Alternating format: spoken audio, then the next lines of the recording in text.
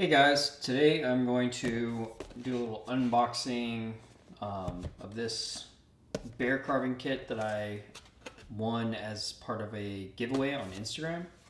Um, I have already opened this up just to look at it, um, so this is not an initial unboxing. Um, it comes with a how-to guide. Obviously it was put together a lot better than what it is right now. Um, I just kind of threw everything back inside. Um, it comes with two um, basswood blocks are two by two by four. Yeah, two by two by four. Um, I've used their wood before and it was pretty good. It was, you know, on par with most of the wood you're going to get off of Amazon. Um, so, you know, it's not bad. It's pretty good wood. Easy to carve, soft enough. It definitely does the job. Um, there's just like protective tape that you can like wrap around your thumb or whatever. Um, I don't use this. I use a carving glove. I think it's a little more comfortable, but some people like to use this because they don't want to have a whole glove on, or they'll reinforce their thumb, or they'll put a little bit on their thumb, you know, on their carving hand.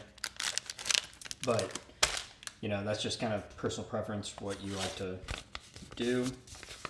Um, it is a bear carving kit, so they include this template so you can, you know, put that onto the wood. You could, you know, glue it on or use a bandsaw to carve out or, you know, scroll saw or something like that to cut out all this extra stuff, um, the excess wood. So it's nice that they give you a little template. Uh, they give you some band-aids, which is kind of a funny thing to do. Uh, there's some sandpaper in here. I'm assuming that's just to smooth out the piece if you want to do that. There's a stropping compound. I'm not sure what type of like grit it is, um, but it's probably comparable to like Flexcut's Gold or something like that. Um, this is kind of cool. It's a little thin piece of leather. It's a strop. You just throw it down on any flat surface and you'll be able to strop your knife. I like this because um, you can just you know, throw this anywhere. I mean, it's small, it's thin, it's light. You can just throw it in your backpack or keep it in your car. So I do like that. It's pretty cool. Uh, there's a pencil, and then you have this like skew knife. Um, I think they call it a pro detail knife. I'm not sure. Yeah, I think they call it a pro detail knife but it's like a, I don't know, a skew. It's got a curved blade. Um, it's got a palm handle. I find it to be a little strange. I don't know. It's it's like a knife, but it's not. I don't know. I'll have to give this a shot and just try it out for a while and see if I end up liking it. So generally, palm tools are made to where it sits in your hand and you can actually push um, which maybe you do some of that with this type of knife um, with that curved edge. I could see maybe, you know, using it to get into like the cheek area on a face, next to the nose or something like that. Um, but I think I would have rather just had a regular like handle, just like a like a knife handle maybe. I don't know. I'm not really sure what to think about this. I've never used a tool like this before. Um, so that's going to be, it's a little strange. It's different. The handle is ash and oiled like all their tools. Um, so I like that. Just not sure if I like the palm tool aspect of it, but it's a little strange because I feel like I'm going to do more cutting with this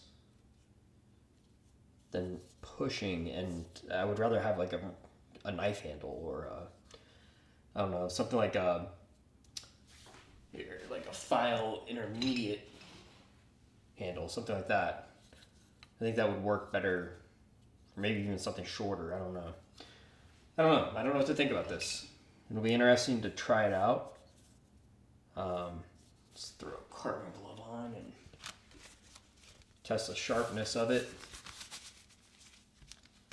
So I'll just use this piece since they sent it to me and just take a little bit of the edge off. Um,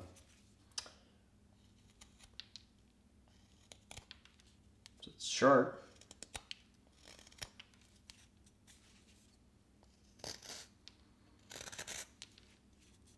It's a nice polished edge. I mean, it's, I don't know, it's a little weird to use, but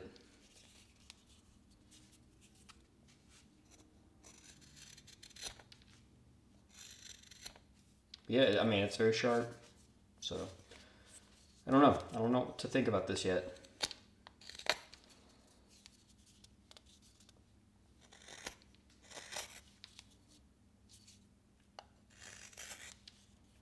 Yeah, I feel like I keep trying to like you know, reach up or choke up on the neck of this thing and that's just a recipe for me to end up going into that thing. I don't know. I don't like my tools being that far away from my hand. I feel like I have less control when it's way out here like this. Um,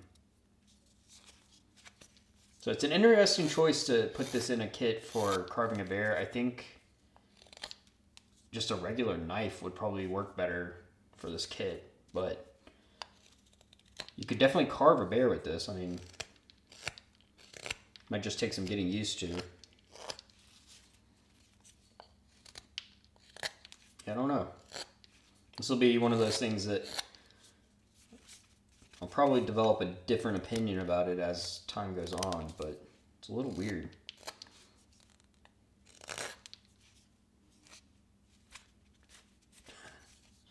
Yeah, uh, it's interesting. That curved blade, you know, like a Sloyd knife or whatever, um, that's kind of nice. I mean, it makes it easy to do this kind of like slicing cuts. And I would imagine, since they call it a pro detail knife, I would imagine reason why they do that is that this would be good at getting into those like kind of hard to reach spots. Um, if you're to carve it like they do, I don't know, you could use this to scoop out those spaces along the nose. I don't know. I mean, you can do that with a knife too. I don't know. Not really sure what to think about this. It's interesting.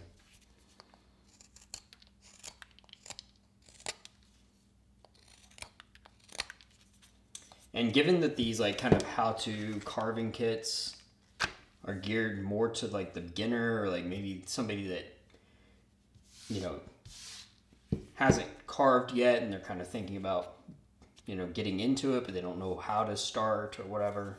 Um, i think this is an interesting choice because i think a knife just a regular like rough out knife would be a better choice for that beginner carver. So can't say i love the choice of it. I, I think a rough out knife would be better but you could definitely carve with it and you could get the job done. So,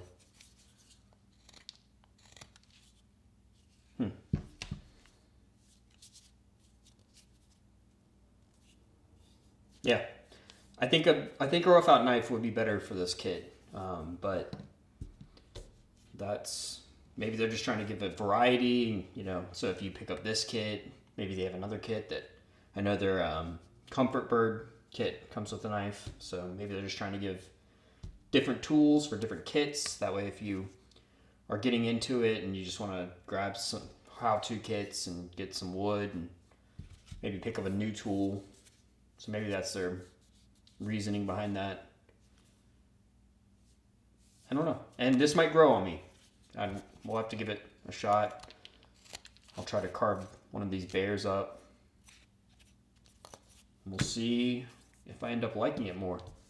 It does have that flat edge to where it doesn't roll around on you, but the shape of the blade is really going to keep that from happening as well. So um, it's always nice to have that flat, you know, spot on the handle. This seems like a decent kit. I mean, you get some it's fine wood, carved easy. That was not hard to do.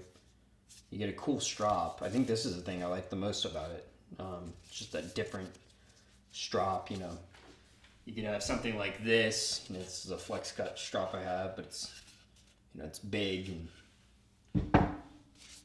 then I've got another one that's, you know, a little bit smaller. It's probably about this size, but it's thick and hard. You know, only thing with this is that you need a flat surface to put it on, but you can usually find one of those, so it's kind of neat little thing. But initial impressions, I do think a rough out knife would have been a better choice. But that's just my opinion. So, um, if you like this video, you know, like it, comment, subscribe, and I will bring some more stuff to you. All right, thanks for watching, and have a nice day.